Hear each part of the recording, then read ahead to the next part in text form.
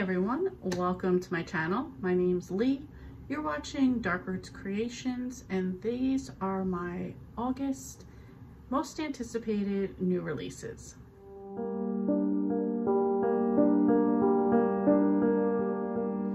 I apologize in advance for the crappy lighting. My ring light here doesn't want to cooperate and I've got this like ray of light that normally isn't here.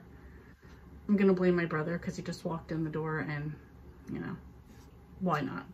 Anyway, um, I have three books on the list for August. Not that many that are out that I'm absolutely interested in.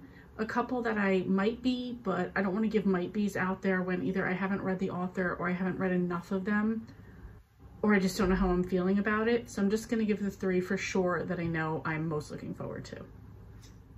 First up is The Blonde Identity by Ally Carter a fast-paced, hilarious road trip rom-com about a woman with amnesia who discovers she's the identical twin sister of a rogue spy and must be teamed up with a rugged, grumpy operative to stay alive.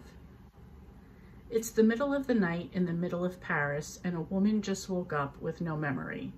She only knows three things for certain.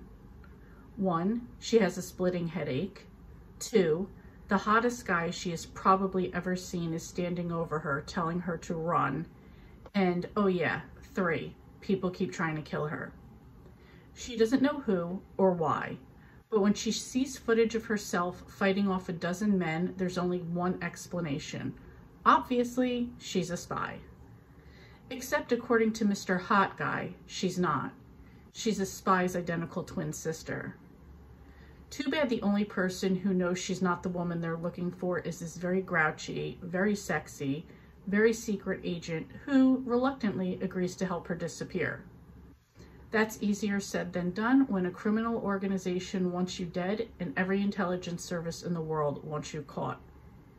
Luckily, no one is looking for a pair of lovesick newlyweds on their honeymoon. And soon they're lying their way across Europe, dodging bullets and faking kisses as they race to unravel a deadly conspiracy and clear her sister's name. But with every secret they uncover, the truth shifts until she can no longer know who to trust. The twin she can't remember or the mysterious man she can't let herself forget. This is an adult romance by Ally Carter. A lot of what I've read from her previously is YA, so I'm looking forward to something a little bit more adult and this one comes out on August 8th. Next up is None of This Is True by Lisa Jewell. Celebrating her 45th birthday at her local pub, popular podcaster Alex Summer crosses paths with an unassuming woman called Josie Fair. Josie, it turns out, is also celebrating her 45th birthday. They are, in fact, birthday twins. A few days later, Alex and Josie bump into each other again, this time outside Alex's children's school. Josie has been listening to Alex's podcast and thinks she might be an interesting subject for her series. She is, she tells Alex, on the cusp of great changes in her life. Josie's life appears to be strange and complicated, and although Alex finds her unsettling, she can't quite resist the temptation to keep making the podcast. Slowly, she starts to realize that Josie has been hiding some very dark secrets. And before she knows it, Josie has entangled her way into Alex's life and into her home. But as quickly as she arrived, Josie disappears. Only then does Alex discover that Josie has left a terrible and terrifying legacy in her wake, and that Alex has become the subject of her own true crime podcast with her life and her family's lives under mortal threat.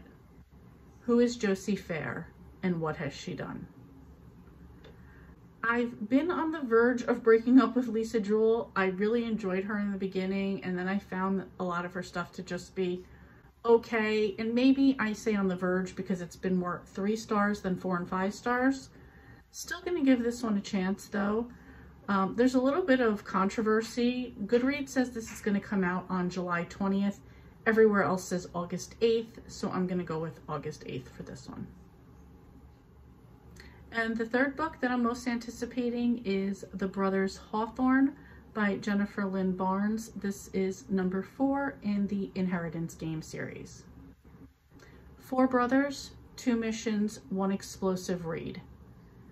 Grayson Hawthorne was raised as the heir apparent to his billionaire grandfather, taught from the cradle to put family first. Now the great Tobias Hawthorne is dead and his family disinherited, but some lessons linger. When Grayson's half-sisters find themselves in trouble, he swoops in to do what he does best, take care of the problem, efficiently, effectively, mercilessly and without getting bogged down on emotional entanglements. Jameson Hawthorne is a risk taker, a sensation seeker, a player of games. When his mysterious father appears and asks for a favor, Jameson can't resist the challenge. Now he must infiltrate London's most exclusive underground gambling club, which caters to the rich, the powerful, and the aristocratic, and win an impossible game of greatest stakes. Luckily, Jameson Hawthorne lives for the impossible. Drawn into twisted games on the opposite sides of the globe, Grayson and Jameson, with the help of their brothers and the girl who inherited their grandfather's fortune, must dig deep to decide who they want to be and what each of them will sacrifice to win. I really enjoyed uh, the Hoth uh, Inheritance Game trilogy in which they're talking about the, he just talked about briefly here about how a girl uh, was left the inheritance that the Hawthorne brothers thought were going to be for them. Didn't work out that way. They did kind of remain friends, so I could see why she would help them and the other two brothers because their grandfather was all about games and puzzles. So they just can't resist that. That's how they were brought up and they are, uh, losing is not part of their DNA. So definitely looking forward to this one. I know this won't be for everybody because you would have had to, or most likely have had to read the first three to have a better understanding of what's going on, but I read them. I'm looking forward to this one. And this one comes out on August 29th. So that's it. That's the books I'm most looking forward to reading. Let me know if you're interested in any of these or if you read them maybe in an arc.